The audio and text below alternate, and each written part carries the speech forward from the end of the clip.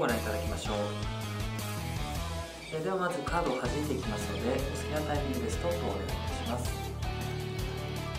ではここで分けておきましょう。え今日はカード当てではなくてえカードの空中浮遊をお見せしたいと思います。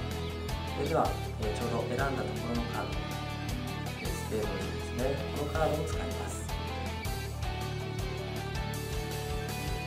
えでは何も持ってカードにおまじないをかけますそして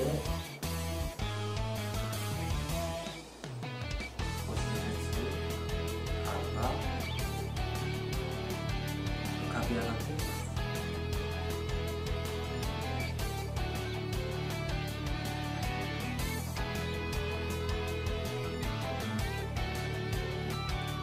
風に春が浮かも